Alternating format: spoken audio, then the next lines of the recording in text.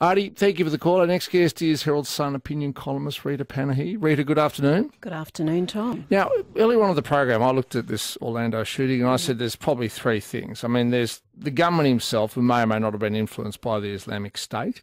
It's also turned may or may not. He pledged his allegiance okay. before he launched the attack. I mean, I don't understand why there's this confusion about. well, because he, he- told us why he did it. It seems like he also was on gay dating websites as well, which does it's seem odd. hardly unusual for a for a man who uh, is deeply homophobic to have some All right. so- homosexual tendencies. and then, of course, there's lax US gun laws, which make it very easy to get a weapon like Mm-hmm. the one that he used. How do you see it? And you are, of course, a former Muslim. Do you think that Islam, the religion, bears some of the blame? It bears a great deal of the blame. The the Muslim homophobia it is vile, it is strong, and it is prevalent. And it's not just in places like Raqqa or Syria or Iraq. It is around the world, and we've got to call it out, just like we would call out any other bigotry. And there's this tendency by the regressive left, which I'm hoping you're not a member of, The the regressive left. the regressive left who would normally rail against any sort of bigotry, particularly bigotry against uh, the homosexual community, but they refuse to call it out if it comes from the Islamic Well, well, for example, there's there's a British-born Muslim cleric in Sydney right now, in Earlwood, at the Imam Hussein Islamic Centre, and he has said a number of times. His name is Farrokh Sekaleshfar. He has said a number of times that the only way to deal with homosexuality is, is execution, is Well, death. that's what they do in several Islamic countries, including the one that um, I lived in for a period, Iran. in Iran. They hang them. It, that that is the crime of homosexuality. It's considered a crime. is punishable by death.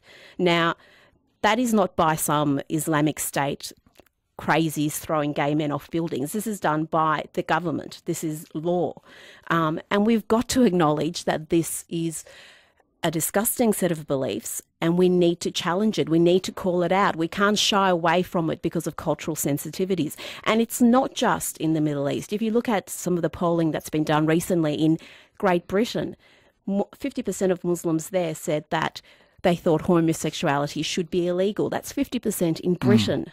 Again, that's not the Middle East. That's No. not, you know, a, a culture completely removed Okay, from so us. because it seems to me, I, I, I agree with you. By the way, I mean we, we have this, we turn this blind eye to, you know, because it's a religion. We feel, oh well, we can't say a bad thing about another Well, no, religion. you really can't. And you know what? If this was a, a Catholic man who went in there citing uh, verses from the Bible, shooting up everybody, there would be no hesitation from the left to absolutely condemn hi- condemn him and uh, call this Okay, well, ha- has anybody from, as you put it, the regressive left come out in the last 24 hours and tried to, I don't know, defend these actions or, or Well, defend? not, I mean, they're not, the defending actions, but- but defending the man, but defend they the Islamic beliefs that say that. they they question whether it's an act of terror. They question whether it's motivated by his uh, radical Islamist beliefs. They question whether.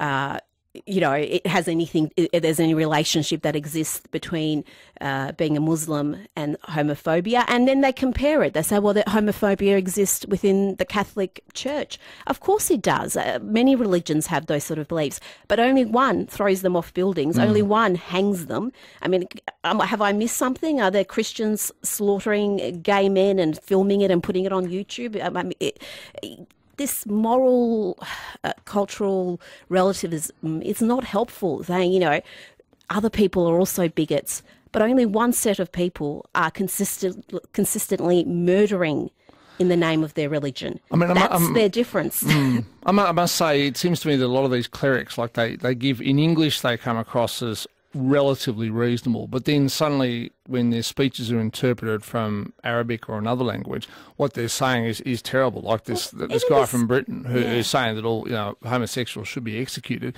He actually says it, it- it's a, it's a compassionate thing to do because it's only by executing them that we can stop them carrying out their homosexual acts and therefore denying themselves a place in heaven.